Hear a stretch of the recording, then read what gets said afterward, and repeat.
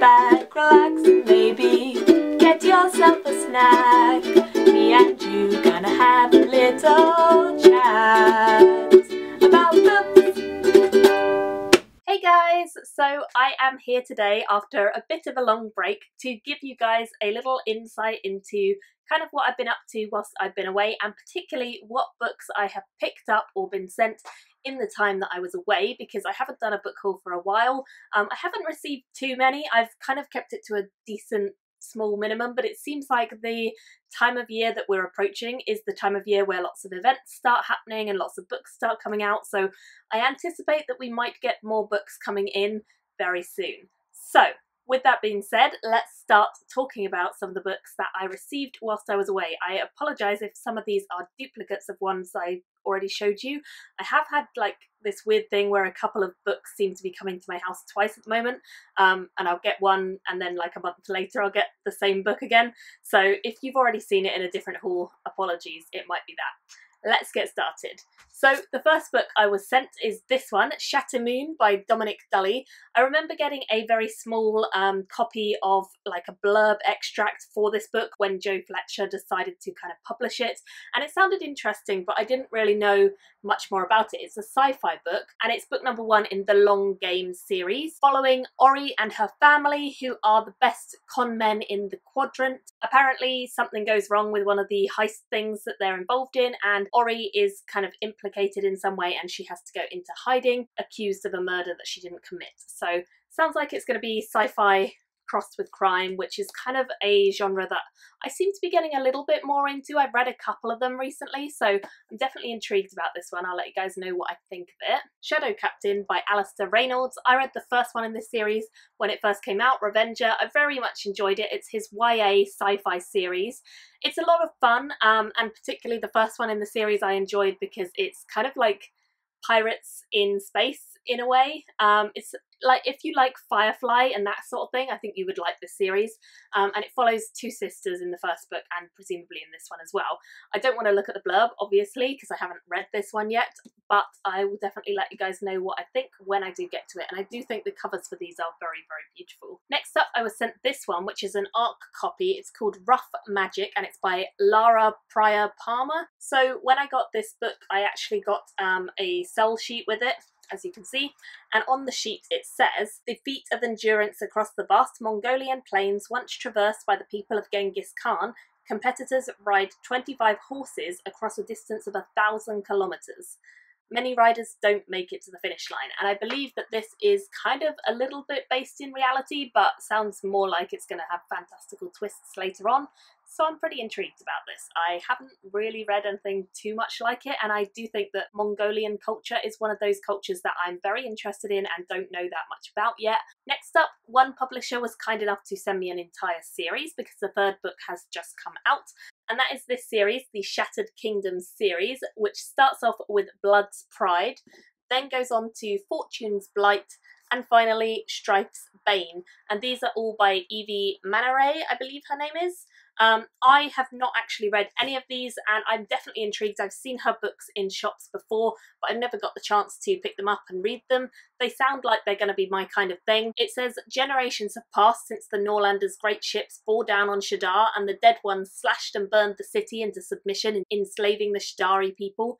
Now the Norlander governor is dying, and as his three children struggle against the crushing isolation of their lives in the desert, the time has come for the Shadari to fight back, and they have a secret weapon, the Mongrel, an unbeaten mercenary warrior. But the Mongrel's terms are unsettling.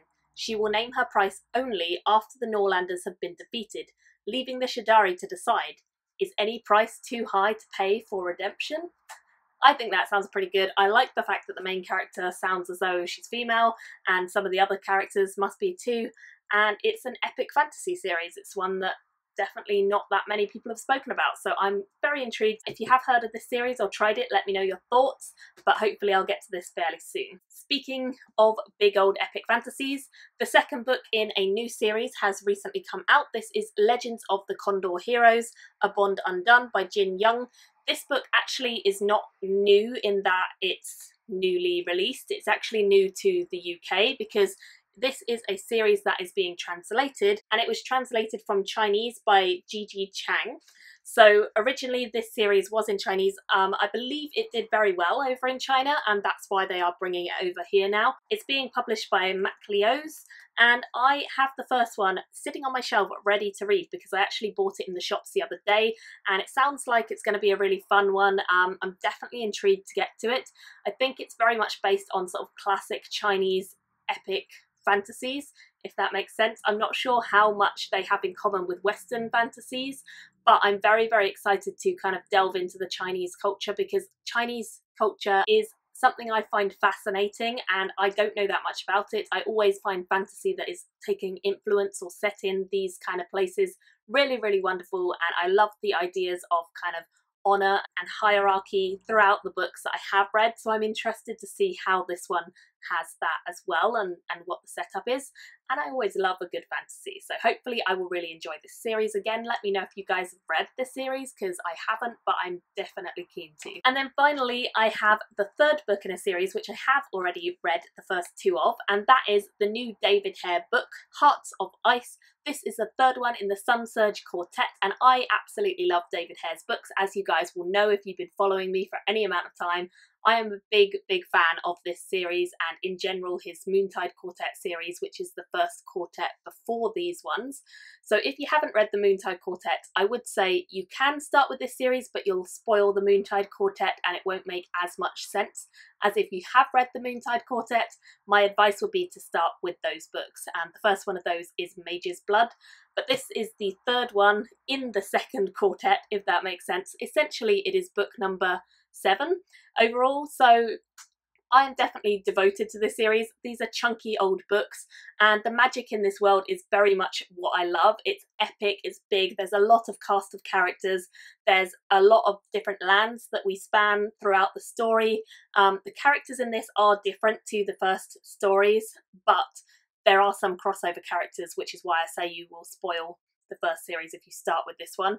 Um, and I just really, really love these books. You guys know this if you've been following me. I love them. So I'm definitely hoping that I'll love this one as much as I have the others. And yeah, if you've read these, let me know your thoughts on them. I'm definitely intrigued. So that is everything that I have been sent in the post. I've also gained a couple of things on my Kindle that I've picked up for myself um, recently, but I won't go into detail on those until I review them for you. So let me know what books you are most interested in out of the ones I've just shown you and what you've recently picked up when you've been to the shops or the library or wherever you get your books from. I would love to hear. Thank you all so much for watching and I'll see you very soon in another video. Bye guys! Thank you for watching my video today. Go pick up a book, then come back and chat with me again.